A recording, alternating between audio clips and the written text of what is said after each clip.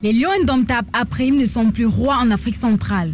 Ils ont été éliminés hier soir par les Diables Rouges du Congo sur le score de 2 buts à 0 pour le compte des demi-finales à Malabo.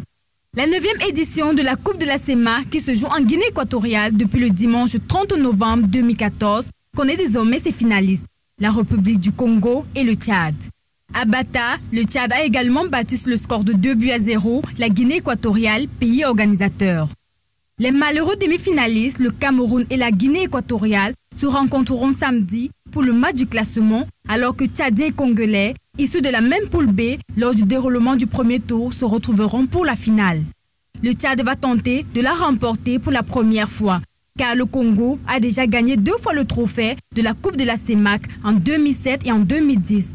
De toutes les façons, la Guinée équatoriale a mis à profit cette compétition pour évaluer sa sélection, appelée pour remplacer au pied levé le Maroc comme sélection du pays organisateur. Qualifié d'office pour la phase finale de la Cannes 2015.